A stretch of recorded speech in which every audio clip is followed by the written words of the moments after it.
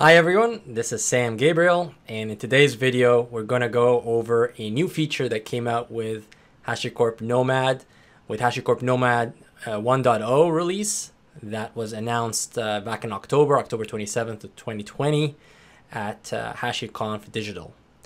And uh, what that feature is, it's called Dynamic Application Sizing, or DAS for short. So let's go ahead and take a look at this new feature. All right, so here's the announcement uh, blog post for Nomad 1.0. And uh, you can see when it came out, October 27th. And uh, the uh, most important thing that I want to focus on today is DAS, which stands for Dynamic Application Sizing. And with that, really, it's the ability, in short, to let a developer understand uh, what his or her application is consuming in terms of resources, in terms of CPU and memory, so that they can properly size that application. So it depends on historical look back through an APM tool such as uh, Prometheus to start. There will be other plugins into uh, Datadog and other APM solutions as well. But basically, Prometheus will take a look, benchmark your application, and figure out how much consumption historically has been, and then we'll give you recommendations to be able to uh, properly size the application. Uh, now this feature is an enterprise feature with HashiCorp Nomad, uh, but it's very neat in the way it, it, works. If you're not familiar with Nomad, I have a video that uh, that walks through HashiCorp Nomad uh, and what it's all about um, and how it differentiates from Kubernetes. So I encourage you to go and take a look at that video. All right, so you can take a look at this and other features also that were released in uh, in 1.0. Uh, the uh, the auto scaling features of Nomad, we have three of them here. So you can see horizontal application auto scaling, which is what you're used to if you're using Kubernetes, for example, to create replicas of pods. And uh, same idea here. We call these, instead of pods, these are called allocations. So you can schedule those and those can happen on different uh, client nodes. The second uh, way of auto scaling is cluster auto scaling. And this one is to, um, uh, you know, auto scale at the cluster level or at the client node level. And then finally, the dynamic application sizing uh, scaling. Uh, this is the enterprise feature we just talked about DAS, and we'll get into this in more detail. Uh, here is a another uh, site, and this is the documentation site talking about how to use it, the different uh, parameters that you can use. Uh, so I'll also reference this in the description of the video so you can take a look. Uh, finally here, this is the actual demo that we're going to go through. Uh, this is the GitHub repo. As you can see here, it's HashiCorp Nomad Autoscaler. Under demo, uh, Vagrant, we're going to run this local on our machine, and uh, dynamic app sizing. Okay, so what we're going to do is we're going to go walk through this and, uh, and show you how this all works. Okay, so uh, I already have Vagrant running uh, on the right hand side here, my PowerShell screen. I have Vagrant already running. It takes about 10, 10 to 15 minutes to get it going. So I, I got that uh, going before uh, recording. And uh, we're just going to go through these uh, commands here. It's pretty straightforward to do it by yourself. Uh, all you need to do is obviously install Vagrant on your machine and just walk through these steps. So let's SSH into Vagrant. Okay, so we're logged into Vagrant. We're on the Vagrant machine here, as you can see. Uh, let's go ahead and look at the uh, folder we need to be in, Nomad Autoscaler. Okay, so first thing we need to run Prometheus. Now I have the UI here, the Nomad UI up and running. As you can see, there are no jobs running at the moment. So first things first, let's go ahead and run the Nomad um, job. So in this in the jobs folder, uh, Nomad. Let's just clear this. Nomad run Prometheus Nomad. and um, that should kickstart the the job here the nomad job there we go so it's running it's going to take a little bit of time to run so we're waiting for it to come up and be healthy uh, in the meantime let's we can run some CLI commands for those who love CLI uh, sorry nomad we're to check the status of Prometheus okay starting. It's not running yet, so we just got to be a little bit patient. So what we see in the UI, you'll see here in the CLI as well. And we can also check on the allocation uh, as well. But basically what we're going to do is we're going to run Prometheus to measure the, uh, to have something to measure. So that's our APM tool. And then we're going to run this example uh, job. Uh, so Prometheus is going to monitor this example job. Uh, we're going to look at the CPU and memory usage. Then we're going to start a Nomad autoscaler, DAS autoscaler. Uh, we can check the logs. Uh, but basically, we are once we do that, we're going to look at the optimization recommendation that uh, Nomad is going to offer. And after we do that, we're going to generate some application load and uh, and see the difference and see that it's going to uh, give us different recommendation because now we increase the load on the application. All right, let's go ahead and see if this is healthy now. It's running, it's healthy, perfect. The UI should reflect that as well, and it does. So that's great. Uh, let's see what we have here next. So let's go ahead and run the Nomad example. It's clear. Okay. Once again, let's go back to the, our jobs and see what we have.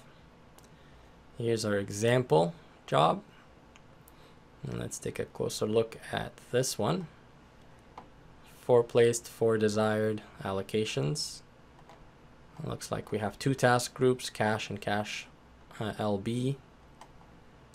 And inside here we got um, some allocations for this task group.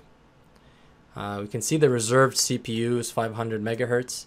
The reserved memory is 256 uh, megabytes. Reserved disk. So we'll see that these numbers. Uh, we'll see them in the recommendation that uh, I think they're a bit high for what we for what we need.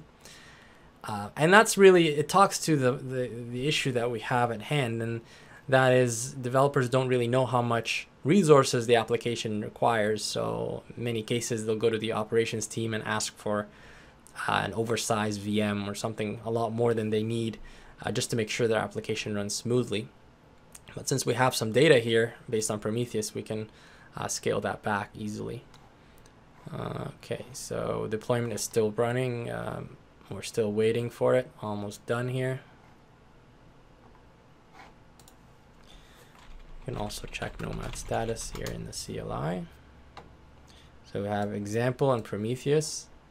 Um, so we can go like this, status example.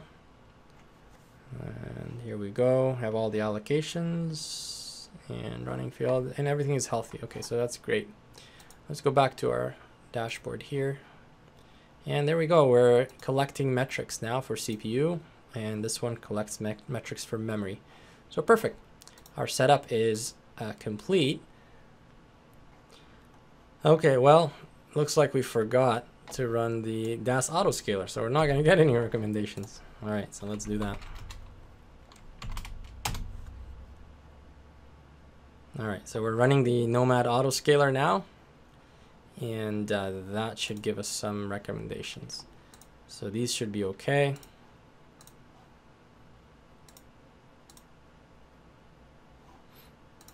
All right. Going back to our job, our DAS autoscaler here is still running, so we gotta wait until this one is uh, is finally completely up. So one placed, one desired, so we'll wait for that.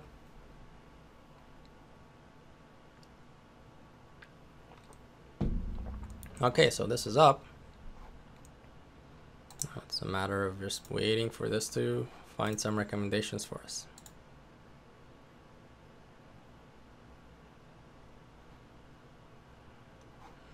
Okay.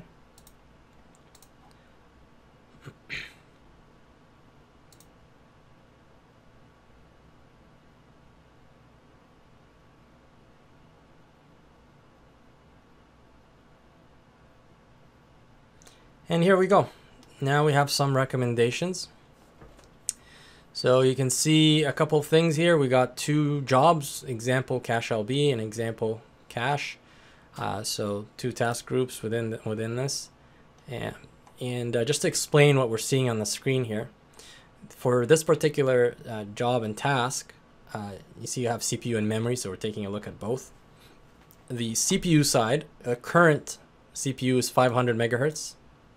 The memory is 256 uh, uh, megabytes. The recommendation that came back is to reduce this by, uh, by 43%. So go down to 287 megahertz and 10 uh, megabytes for the for the memory, right? So in uh, in both cases, we've oversized this allocation so we can reduce it.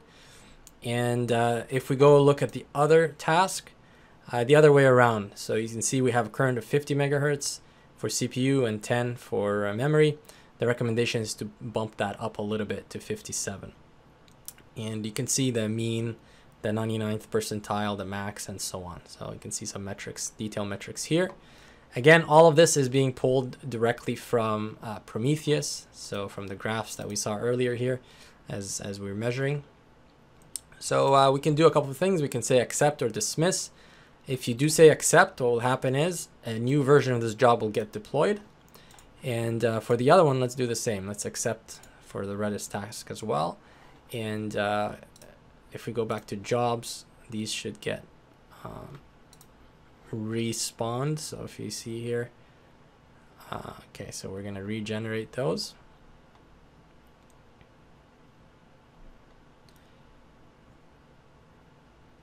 Okay, and while that happens, let's go back and uh, add some load to the application. So we're going to generate some load here. Let's go ahead and implement this. So run this to generate some load. It's a batch job here.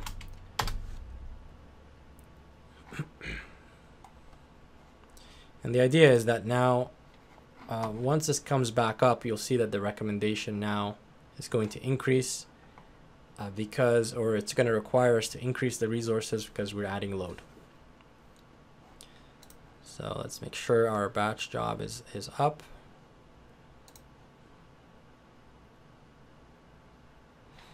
Okay, still starting.